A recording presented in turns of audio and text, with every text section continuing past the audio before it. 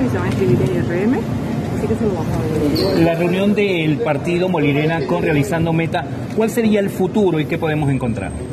Bueno, esto vamos a esperar qué nos dicen las personas que vienen y yo sé que es un apoyo que nos van a dar, pero no se podemos adelantarnos a los hechos.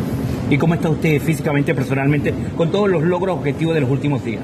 Bueno, yo creo que se ha logrado, se hizo el trabajo.